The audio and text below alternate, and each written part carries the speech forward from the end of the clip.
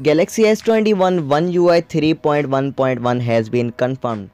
Hindi language के लिए timer पे स्किप करो so as you know that on August 11 Galaxy Z Fold 3 launch event will begin and uh, Samsung will roll out S21 series One UI 3.1.1 and if we talk about release date it will arrive somewhere between August 20 and August 27 so yes are you excited for this one ui 3.1.1 let me know in the comment section. And august update has not been confirmed yet. I don't know why it's getting late. Because if we talk about june update or may update it was rolled out in the last of the april 28 or may 28 we got june update.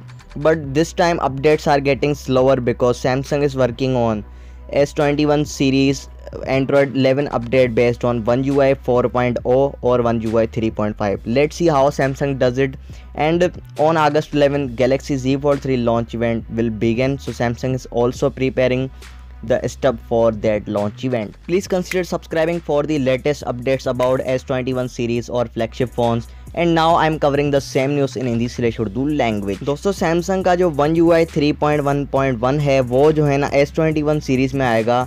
अगस्त 20 से लेके अगस्त 27 तक, ठीक है? तो ये कहा जा रहा है सोर्सेज के हिसाब से क्योंकि आपको पता है 11 अगस्त को गैलेक्सी Z Fold 3 सीरीज़ का लॉन्च इवेंट है और उसके अंदर भी जो है ना one U I three point one point one होगा और जो एक बंदा है, उसने जो है ना ऐसा क्लेम किया है कि अगस्त की एंड तक या सेप्टेम्बर के फ़र्स्ट वीक तक आपको one U I three point one point one मिलेगा एस ट्वेंटी वन सीरीज़ में। और ये भी पॉसिबल है कि इन्हीं सेम डेट्स के अंदर आपको यही update S twenty Note twenty और नोट ट्वेंटी अल्ट्रा में भी मिल जाए। तो देखते हैं कैसे सैमसंग अपडेट्स प्रोवाइड करता है और यही थी सारी की सारी अपडेट।